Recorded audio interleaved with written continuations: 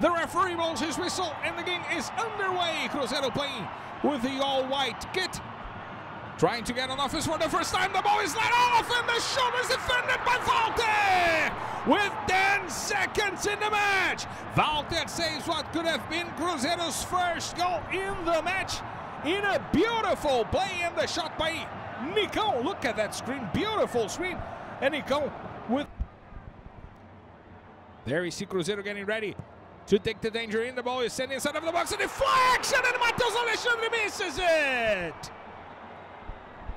What an outstanding opportunity! It was Marlon on the play. The ball was deflected on the first post. Marlon got the opportunity and ended up injuring himself on the post. What a missed opportunity for Cuiabá. As the cross comes over inside of the box, the header, the ball hits the bar! Alisson on the header. And he almost sends it in. He almost opens up the score for the side of Cuiabá. This was close. And this is one. Another pass inside of the box. Deyverson tries the volley and sends it above. Good opportunity by Cuiabá taking advantage from the lack of focus of this Cruzeiro's defense. Cruzeiro seems to be out of this match, dude. Not only offensively, but defensively. You said it all. Cruzeiro has a very strong defense, one of the best in the Brasileirão.